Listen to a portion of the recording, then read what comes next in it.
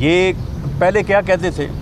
वो जो पिंडी का शैतान बेगैरत इंसान है, वो कहता था, जी, जेल तो मेरी, मेरा ससुराल है और हथकड़ी मेरा जेवर है।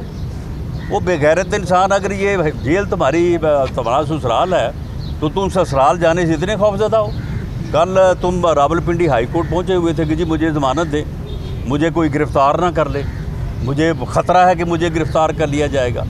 हैं जी, एक तरफ़ तुम कहते हो कि तुम्हारा जो है वो ससुराल है और दूसरी तरफ़ जो है वो तुम्हारी हालत ये है कि जिस दिन तुम्हारा भतीजा जो है वो अरेस्ट हुआ है, उसके बाद दो दिन तुम घर अपने में सोए नहीं हो कि मैं कहीं गिरफ़्तार ना हो जाऊँ। और अब तुम जो है वो कबल अज़ गिरफ़्तारी ज़मानत के लिए पहुँच गए हो और चर्ब ज़बानी करते हो?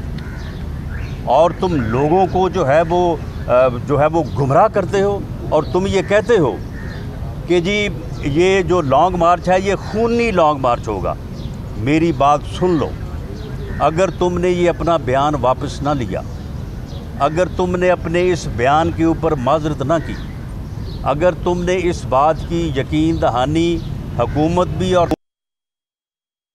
लॉन्ग मार्च जो है ये पुरमन होगा, ये लॉन्ग मार्च जो है एक सियासी एक्टिविटी होगी, ये जमहूरी लॉन्ग मार्च होगा, ये पुरमन लॉन्ग मार्च हो, अगर तुमने ये ना किया तो मेरी बात सुन लो, मैं तुम्हें घर से नहीं निकलने दूँगा।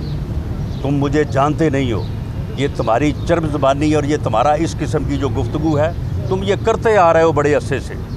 और इस तरह की जो है वो तुम लच्छेदार बातें करके लोगों को वर्गलाते हो। लोगों को कहते हैं जी, लोग जो है वो आग लगाने को तैयार है। कोई बंदा आग लगाने को तैयार नहीं, किसी ने बात नहीं की।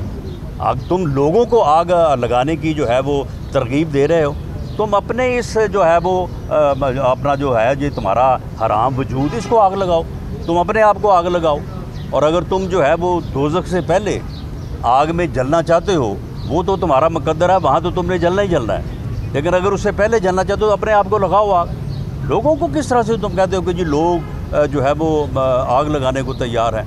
अगर तुम इस किस्म की जो है वो अनारखी और अफरा तफरी का की मनसूबाबंदी करे हो करोगे तो याद रखो मैं तुम्हें घर से नहीं निकलने दूँगा तुम एक कदम नहीं बाहर निकल सकोगे। अच्छा, तुम्हें तुम्हें किसी बात की सुन ले सुन ले।